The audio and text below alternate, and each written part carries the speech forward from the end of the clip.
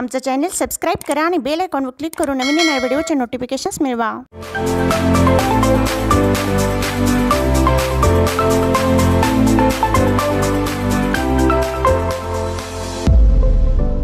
नमस्कार. असे म्हटले जाते की काळ्या कभिन्न पाषाणावर गवताचे पाते फुटत नसतात. त्या भाल्यांना पंख फुटण्यासाठी मातीची गरज लागत असते. काही पाती ही मोठमोठ्या वटवृक्षाच्या सावलीखाली गुदमरून मरून असतात तर काही गवताची माती वडिलांच्या विचाराची कास धरून त्यांच्या नावासाठी प्रसंगी जगण्यासाठी वा मरण्यासाठी तयार असतात. नमस्कार विद्यार्थी मित्र हो मी केतकी किरण देशपांडे इयत्ता दहावीची विद्यार्थिनी.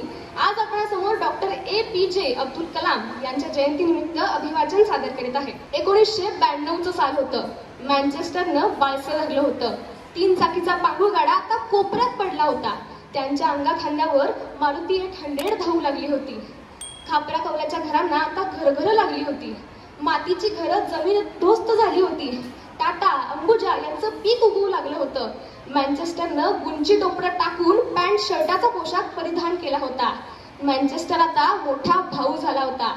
पण छोट्या भाऊ कबनूरचं काय? असा प्रश्न पडला होता. पण देवानं काऊन सुलाखून तयार केलेलं लखलखीत पातं धोतर कुडत्याच्या रूपानं कबनूरसाठी पाठवलं होतं.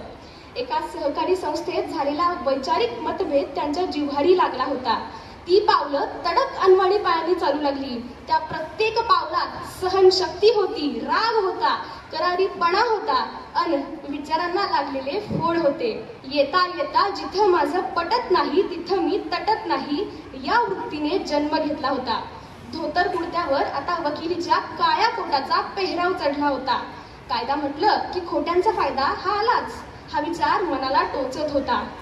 पण त्यातच राष्ट्रपित्याचा स्पर्श झाला आणि वकिलीचा कोट एका क्षणात गळून पडला. जीवन समाज सहकारासाठी आणि कबनूरच्या वाढीसाठी तसेच विस्कटलेल्या घडीसाठी लावायचा निश्चय केला. कबनूरचं स्थान मँचेस्टर बरोबर नेणं त्यासाठी सहकार उभारणं हेच आपल्या जीवनाचं सार आहे हे आता कळून चुकलं होतं. दक्षिण भारत जैन सभेचं नेतृत्व करताच कबनूरनं बालसं धरलं सामाजिक कार्यात स्वतःला झोकून द्यायला सुरुवात केली. अखेर वाढदिवसाचा तो दिवस उगवला. लोक उत्स्फूर्तपणे गोळा झाले होते. गोळा झालेला प्रत्येक माणूस त्या दिवशी आनंदला होता. तो मोकळ्या हाताने नव्हे तर सढळ हाताने मदत करायला आला होता. ती रक्कम कमीही नव्हती आणि जास्तही नव्हती. ती प्रमाण होती. त्या रकमेनं जादूची कांडी फिरवावी तशी परिस्थिती फिरवली. आज त्या रकमेचा आवाका हजारो विद्यार्थ्यात ज्ञानरूपानं पेरला गेला. कबनूरचा आवाका आपल्या पुत्राच्याकडून पूर्ण करण्यात रावसाहेबांना यश आलं होतं. आता मात्र देह शिरला होता. समाज व कबूरसाठी धडपडणारे पाय शांत होऊ लागले होते. वैशाखाचा रखरखता उन्हाळा संपत चालला होता.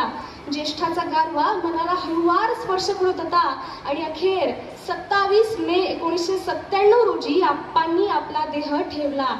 सूर्य ढगाआड गेला पण पण संधी प्रकाशाचा एक किरण देवाप्पा आप्पा उर्फ रावसाहेब या वास्तूत कायमचा करून गेला कायमचा करून गेला. धन्यवाद.